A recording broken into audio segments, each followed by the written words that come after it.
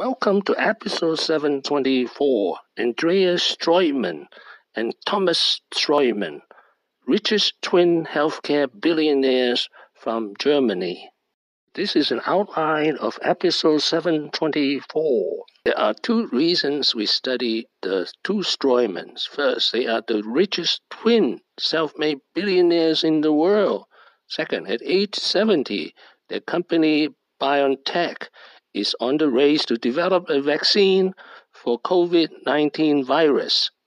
First thing I notice about the Stroitmans, they are really, really rich.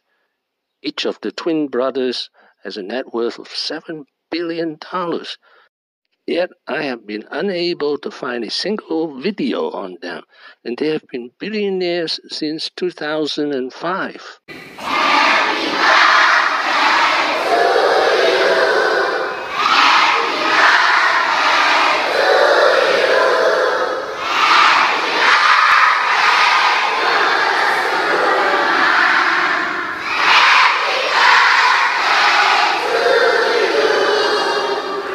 This is picture of Dr. Andrea and his wife. They co-founded Students for a Better Future in Cape Town, South Africa. The twin brothers were born in 1950 in Tegernsee, a spa town in Bavaria, about 10 miles from Austria. In terms of education, the two brothers cannot be more different from each other. This is a picture of Thomas Stroitman.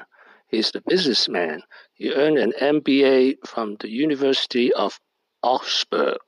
The other brother, Andreas Stroitman, earned an MD from the University at Buffalo. That's an American state university in upstate New York. Andreas Stroitman did his intern in South Africa in the 1980s. That's where he met his future wife, Sue, and got married. Now, how the two twin brothers co founded Hexal in 1986. The idea came from Thomas Stroitman, who was working for Schering-Plough which was a huge American pharmaceutical at the time. He convinced his brother, who was a doctor at South Africa, to join him. The twin brothers were 36 years old then.